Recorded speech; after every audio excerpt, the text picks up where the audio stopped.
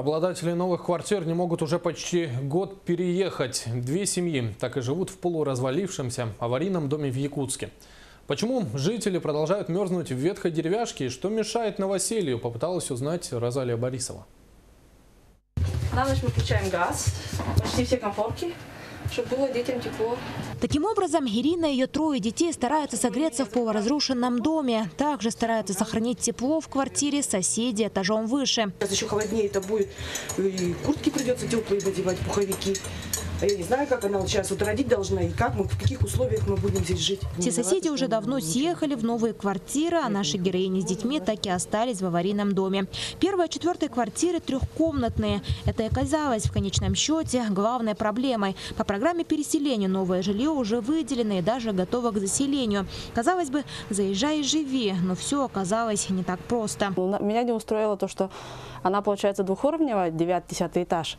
Получается, наверху две комнаты, а внизу, получается, кухня просто. И все, нет третьей комнаты. Я просто им говорю, а я-то где буду спать с ребенком?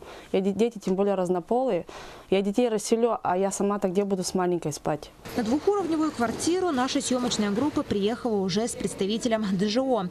Жилье с крутыми лестницами, двумя комнатами казалось, мягко говоря, тесной. Но, по словам представителя ДЖО, других вариантов нет. Эти квартиры были приобретены для переселения из аварийного жилья вот именно этим семьям.